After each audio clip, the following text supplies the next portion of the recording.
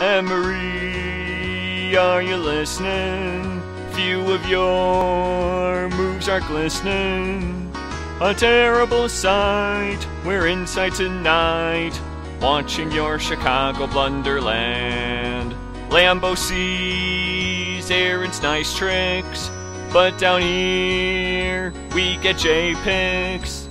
We sing a sad song as we go along, watching your Chicago blunderland. On the lakefront, we could build a good team and pretend they'll take Lombardi's crown. We'd be grateful just to see this good team until the Green Bay Packers knock us down. Though it snows, you ain't thrilling, so we make you a villain. We probably can't play the Marc Trestman way. This is your Chicago Blunderland. Oh no, we probably can't play the Marc Trestman way. This is your Chicago Blunderland.